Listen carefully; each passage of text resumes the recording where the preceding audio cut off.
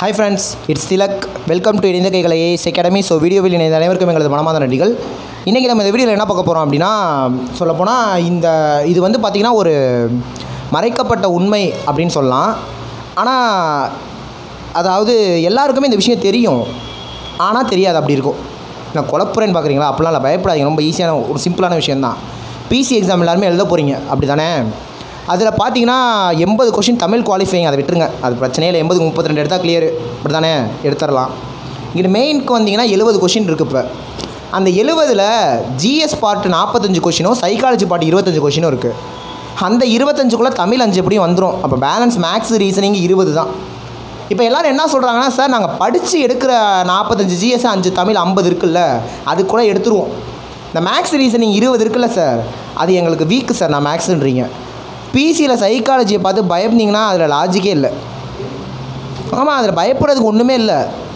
அந்த உண்மையை தான் நான் இன்றைக்கி உடைக்க போகிறேன் அதாவது தெரியாமல் எக்ஸாமில் போய் உட்காந்து ஏதோ ஓரளவு அப்படியே சா எழுதிட்டு வந்துடுவீங்க நான் இந்த வீடியோவை பார்த்ததுக்கப்புறம் நீங்கள் கான்ஃபிடண்ட்டாக போய் எழுதிட்டு வருவீங்க. மேக்ஸ் ரீசனிங் செட் எவ்வளோ கொஷின் வருது? இருபது கொஷின் வருதா? பதினஞ்சு கொஷின் தாராளமாக அடிச்சிடலாங்க யாராக இருந்தாலும் சரி நீங்கள் ஓரளவு எனக்கு வந்து என்ன சொல்கிறது ஓரளவு நாலேஜ் இருக்குது சார் அப்படின்னாலே இருபதுக்கு பதினஞ்சு அடிச்சிடலாம். நீங்கள் மேக்ஸில் ஒரு ஆவரேஜ் ஸ்டூடெண்ட்டாக இருந்தீங்கனாலே நீங்கள் டுவெண்ட்டிக்கு டுவெண்ட்டியுமே அடிச்சிடலாம். பிசி அப்படி தான் இருக்கும் அப்படி தான் இருக்கும். அது நான் என்னன்னு சொல்லிடுறேன். வாங்க வீடியோக்குள்ளே போயிடலாம். ஓகேவா பார்த்தீங்கன்னா நான் ஒன்றும் பெருசாக உலகத்தில் இல்லாத விஷயத்தெலாம் எடுத்து சொல்லலை. பிசிக்கு இப்போ மாடல் கொஷின் கொடுத்துருந்தாங்கல்ல. ஆ அதை வச்சு தான் சொல்கிறேன் ரீசனிங்கில் அது மட்டும் உங்களுக்கு ஏழு கொஷின் வருங்க அந்த இருபது கொஷினில் இப்படி நான் பிரித்து சொன்னேன்னா தான் உங்களுக்கு அதில் இருக்க உண்மை புரியும். அந்த ஏழு கொஷின் என்ன தெரியுமா கேட்குறாங்க கோடிங் கோடிங் ஏபிசிடி வச்சு கேட்குறாங்க டயக்ராம் வச்சு கேட்குறாங்க அந்த டயக்ராம்லாம் எப்படி தெரியுமா இருக்கும்? இப்படி ஒரு நாலு கட்டம் இருக்கும். ஒரு கட்ட ஒரு டயக்ராமில் இங்கிட்டு கருப்பு ஒரு டயக்ராமில் அங்கிட்டு கருப்பு இங்கிட்டு கருப்புனா அப்போ அடுத்து அங்கிட்டு தானே கருப்பு வரும். அப்படி டிக் பண்ணுற மாதிரி டயக்ராம்லேருந்து ரெண்டு மூணு கொஷின் வந்துடும் பிளட் ரிலேஷன் அதெல்லாம் கண்டிப்பாக ஓரளவு நீங்கள் ரிலேஷன்களை யோசிச்சு போட்டுடலாம் இப்படி தான் அந்த ஏழு கொஷின் இருக்கும். ஸோ டேம் ஷுவராக சொல்கிறேன் இந்த ஏழு கொஷினுக்கு நீங்கள் ஏழுமே அடிச்சிடலாம். ப்ராக்டிஸே பண்ணணும் அவசியம் இல்லை. இதுதான் உண்மை. எஸ் ஏழுக்கு நீங்கள் ஏழுமே அடிச்சு வந்துடலாம். நீங்கள் ஆன் த ஸ்பாட்டில் எக்ஸாமில் போய் உட்காந்திங்கனாலே இந்த ஏழு கொஷினை மட்டும் நீங்கள் அடிச்சிடலாம் ஈஸியாக செவன் அவுட் ஆஃப் செவன் வாங்கிடலாம். நெக்ஸ்ட்டு டிஐயும் பசுனும் சேர்த்து ஒரு அஞ்சு கொஷின் கேட்குறாங்க இது நார்மலாக எஸ்ஐயில் வரும் சென்ட்ரல் கவர்மெண்ட் எக்ஸாம் சொல்லலாம் வரும். பிசியில் அந்தளவு கேட்டதில் இப்போ இன்ட்ரடியூஸ் பண்ணியிருக்காங்க இந்த வாட்டி. பிஏயும் பசுனும் சேர்த்து அஞ்சு கொஸ்டின் ஓகேவா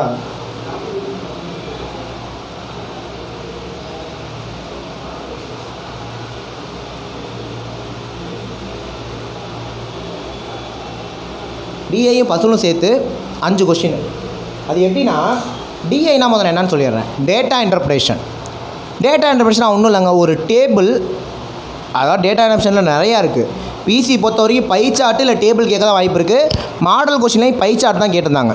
இந்த டிஏ ஆன்சர் பண்ணணுன்னா ஆவரேஜ் ரேஷியோ பர்சன்டேஜ் இந்த மூணு டாப்பிக்கும் ஃபுல்லாக தெரியணும்லாம் கூட அவசியம் இல்லை. இந்த மூணு டாப்பிக்கோட பேசிக் மட்டும் தெரிஞ்சால் போதும். நீங்கள் இந்த டிஏலேருந்து அழகாக அடிச்சுட்டு வந்துடலாம். ஆவரேஜ் சராசரினா என்னது? எல்லாத்தையும் கூட்டி எத்தனை நம்பர் இருந்தோ வகுப்போம்? அது தெரிஞ்சால் போதும். ரேஷியோ விகிதம். இப்போ பத்துக்கும் பதினஞ்சுக்கும் என்னங்க விகிதம்? பத்து பதினஞ்சு. ரெண்டையும் அஞ்சால் அடிச்சிங்கன்னா ரெண்டு இஸ்டு மூணு. இது ரேஷியோவில் தெரிஞ்சால் போதும். இந்த பேசிக் தெரிஞ்சால் போதும். பர்சன்டேஜ் ஒரு நம்பருக்கு இன்னொரு நம்பர் எவ்வளோ சதவீதம்? இப்போ பத்தில் அஞ்சு எவ்வளோ பர்சன்ட்டுங்க பத்தில் அஞ்சு பாதி. பாதினா ஐம்பது பர்சன்ட்டு இது தெரிஞ்சால் போதும். அதே மாதிரி பர்சன்ட் எவ்வளோ அதிகரிச்சிருக்கு? பர்சன்ட் எவ்வளோ குறைஞ்சிருக்கு? இது மட்டும் தெரிஞ்சால் போதும். இந்த டிஐலேருந்து நீங்கள் ஆன்சர் போட்டு வந்துடலாம் ஈஸியாக தான் இருக்கும். ஒன்றும் இல்லை. என்ன என்ன அப்படின்னு நினைக்கிறீங்களா?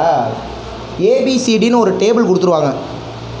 ஏங்கிற ஒருத்தர் தமிழ் ஐம்பது மார்க் பிங்கிறவர் எண்பது மார்க் சிங்கிறவர் எழுபது மார்க் இப்படி ஒரு ஒரு ஒரு டேட்டா கொடுத்துட்டு ஏ தமிழில் எடுத்ததுக்கும் பி இங்கிலீஷில் எடுத்ததுக்கும் ரேஷியோ கொடுங்கம்பாங்க. அது ஒரு கொஷின்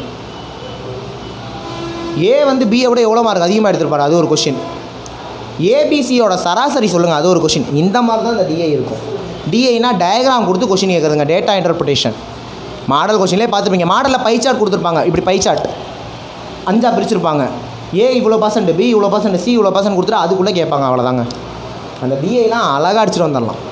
நெக்ஸ்ட்டு பசிலு பசில்லாம் ரொம்ப ஈஸி எப்படி கேட்குறாங்கன்னா பிசியில் ஏக்கும் பிக்கும் தமிழ் பிடிக்கும்.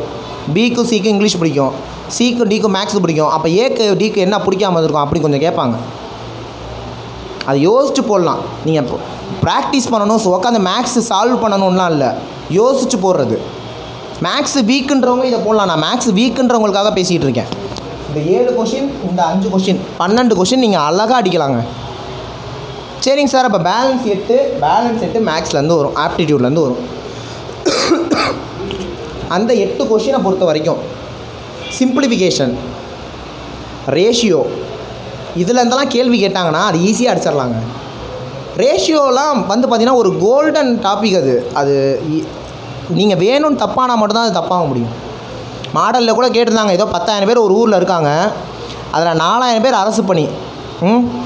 அப்போ அரசு பணி இல்லாமல் எத்தனை பேர் இருந்திருப்பாங்க? ஆறாயிரம் பேர் தானே இருப்பாங்க. மைனஸ் பண்ணால் கிடச்சிரும்ல.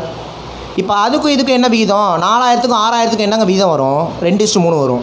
இப்படி கேட்குறாங்க பிசியில் மேக்ஸ் கொஷின் இப்படி தான் இருக்குது ஸோ நீங்கள் பயப்படவே தேவையில்ல. அதே மாதிரி இந்த மேக்ஸ் எட்டு கொஷின் இருக்குல்லங்க. நான் திரும்ப சொல்லிடுறேன்.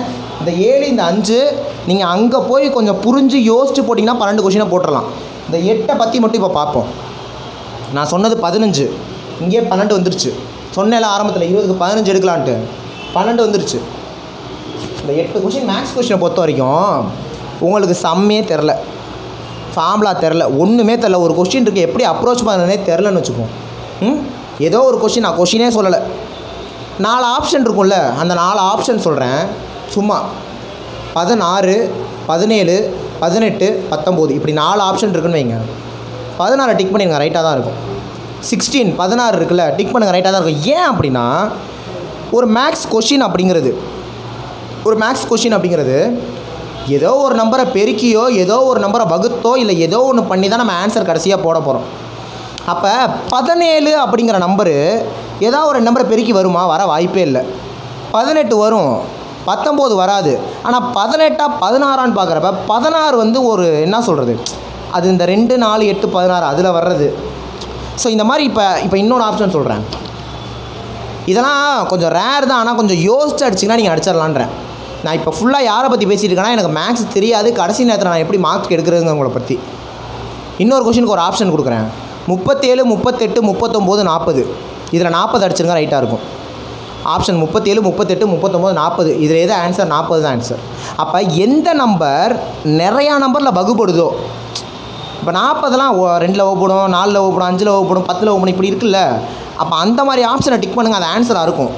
ஏன்னா பெருக்கி வகுத்த ஆன்சர் வர்றப்ப எந்த நம்பர் ரொம்ப நம்பரால் வகுப்படுதோ அது ஆன்சராக வர்றதுக்கான வாய்ப்புகள் இருக்குது இப்படி கொஞ்சம் ஸ்மார்ட்டாக பூந்து அடிக்கணும் நீங்கள் மென்சுரேஷன்லேருந்து பிசியில் ஃபார்முலா தான் அதிகமாக கேட்குறாங்க மென்சுரேஷன்லேருந்து பிசியை பொறுத்தவரையும் ஃபார்மில் தான் அதிகமாக கேட்குறாங்க கேட்டாங்கன்னா போட்டுருங்க. ஓகேவா நம்மளும் பிசிக்கு நிறைய ஆப்டிடியூட் வீடியோஸ் போட்டிருக்கோம். அதெல்லாம் கொஞ்சம் போய் பாருங்கள் போன வீடியோவில் கூட நான் சொல்லியிருந்திருப்பேன். ஓகேவா ஸோ அதெல்லாம் கூட கொஞ்சம் தேடி பாருங்கள் இருபது கொஷினில் பதினஞ்சு அடிக்கிறது டேம் ஷுவர் ரொம்ப ஈஸி அதுவும் சில நேரம் நம்பர் சீரிஸ்லாம் கேட்பாங்க. கேட்டாங்கன்னா அழகாக அடிச்சிடலாம். நம்பர் சீரிஸ்லாம் கேட்டாங்கன்னா கோல்டன் ஆப்பர்ச்சுனிட்டி அழகாக அடிச்சிடலாம். நான் சொல்ல வர்றது இந்த ஏழு அஞ்சு பன்னெண்டை எடுத்துருங்க. இந்த ஏழு ப்ளஸ் அஞ்சு பன்னெண்டு இருக்குல்ல இதை எடுக்கலான்னா தப்பு உங்கள் மேலே தான் ஏன்னா அந்த நேரத்தில் அப்படியே யோசிச்சு போடுறது அந்த பன்னெண்டு கொஷினும் கொஞ்சம் யோசிச்சிங்கன்னா போட்டலாம் சம்மு சால்வ் பண்ண வேண்டியது இல்லை இந்த ஏழு அஞ்சு பன்னெண்டு. இந்த எட்டு தான் நீங்கள் சால்வ் பண்ணணும். அப்போ பன்னெண்டை எடுத்துட்டிங்கன்னா இந்த எட்டில் ஒரு மூணு கொஷினோ நாலு கொஷினோ அஞ்சு கொஷினோ அடிச்சிங்கனாலே இருபதுக்கு பதினஞ்சு மேலே எடுத்து ஒரு பதினாறு பதினேழு நெருங்கிடுவீங்க. மேக்ஸ் ஆவரேஜாக வருமா சார் இருபதுமே எடுத்துடலாம். மேக்ஸ் ஸ்ட்ராங்காக இருபதுமே எடுத்துடலாம். இதுதான் விஷயம். ஸோ இந்த வீடியோ பொறுத்த வரைக்கும் ஃபுல் அண்ட் ஃபுல் மேக்ஸ் வராது நான் வீக்கு அப்படின்றவங்களுக்காக. ஓகேவா ஸோ இருபதுக்கு பதினஞ்சு மேலே எடுக்கிறதுங்கிறது ரொம்ப ரொம்ப ஈஸியான விஷயம் தான் பிசி பொறுத்த வரைக்கும். ஏன்னா ரீசனிங்கோட வெயிட்டேஜ் அங்கே கொஞ்சம் அதிகமாக இருக்கனால சொல்கிறேன் ஓகேவா ஸோ இன்னும் கொஞ்ச நாள் இருக்குது எக்ஸாமுக்கு நம்ம வீடியோஸ் கூட கொஞ்சம் பாருங்கள் எடுத்து ஆப்டிடியூட் ரீசனிங்லாம் கொஞ்சம் போட்டிருக்கோம். அதெல்லாம் எடுத்துக்கூட பாருங்கள் டைம் இருக்கப்போ. நீங்களும் யோசிச்சு அடிங்க. எக்ஸாம் மார்க் ஈஸியாக ஸ்கோர் பண்ணிட்டு போயிடலாம். ஓகேவா ஸோ ஜிஎஸ் நீங்கள் படிச்சிருங்க. மேக்ஸ் இந்த மாதிரி அப்ரோச் பண்ணுங்கள் பிசி வேலை நம்மளுது. இதை சொல்லலான்னு தான் வந்தோம். இதே மாதிரி வீடியோஸ் அப்டேட்ஸ் இன்ஃபர்மேஷன்ஸ் எல்லாமே வேணும்னா நம்ம சேனலை கரெக்டாக ஃபாலோ பண்ணுங்கள் அது உங்களுக்கு ரொம்ப யூஸ்ஃபுல்லாக இருக்கும். அதே மாதிரி இன்னொன்று சொல்லிடுறேன். நான் சொன்னேன்ல இப்போ நீங்கள் என்ன பண்ணுங்கன்னா பிசி மாடல் கொஷின் இருக்குல்ல அந்த இருபது கொஷின் அதை எடுத்து பாருங்கள் பிசி மாடலில் மேக்ஸ் ரீசனிங் சேர்த்து இருபது கொஷின் இருக்குல்ல அதை எடுத்து பாருங்கள் பிசியோட ஓல்டு கொஷின்ஸ்லையுமே சைக்காலஜி மேக்ஸ் ரீசனிங் எப்படி கேட்டுருக்காங்களோ அதெல்லாம் எடுத்து பாருங்கள் பார்த்தீங்கன்னா நான் என்ன சொல்ல வரேன் அப்படிங்கிறது உங்களுக்கு நல்லா புரியும். ஓகேவா ஸோ வீடியோ முடிச்சுக்கலாம். இதே மாதிரி இன்னொரு ஒரு யூஸ்ஃபுல் வீடியோவில் நெக்ஸ்ட் மீட் பண்ணலாம். ஓகேவா தேங்க்யூ ஃப்ரெண்ட்ஸ்